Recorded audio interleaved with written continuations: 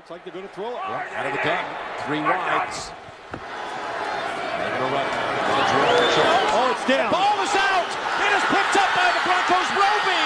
And he's in the end zone for an unbelievable touchdown.